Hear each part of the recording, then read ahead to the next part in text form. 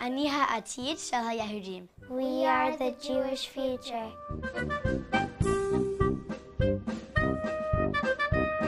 When I get older, I would like to be a pediatric cardiologist that specializes in echocardiograms. I want to be a princess. A hockey player. A pop star. A doctor. An astronaut. A policeman. Pilot an audio therapist.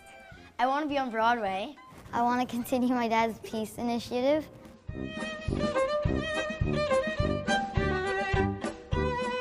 The best thing about being Jewish is Probably my family and my friends.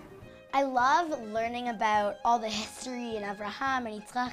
Learning about deep concepts and family and bringing like many people together. and we are able to like connect by doing like the same things that our ancestors were doing and Eating the same food. the green apples are really sour, so I take a lot of honey for the green apples. I love Hanukkah because I love latkes. I, I have four dreidels. I love matzah soup. Every Saturday we get shows. And I also like to kiss the Torah. The best thing at Associated is you get to spend time with your teachers. You get to do fun stuff, and it's not boring. You Get to do plus, you get to do minus, you get to do like all those kinds of stuff. It, it's fun with, with numbers and everything. It's fun, very fun. I'm trying to do my last year of coloring because next year I'm going into grade one. I like I like doing Hebrew. I know my name in Hebrew. Ellie.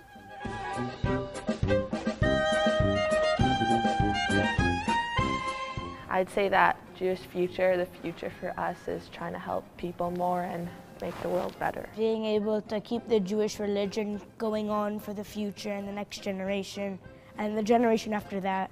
And then the generation after that. when I think of Jewish future, I think of like living a religious life and raising kids so that they'll be religious. and everyone keeps all the same mitzvot and stuff. Hoping that in the future there'll be peace and everything will be good. Being Jewish is a privilege. It's just an amazing feeling to be Jewish. We are the Jewish future. Because that's what Jewish people do.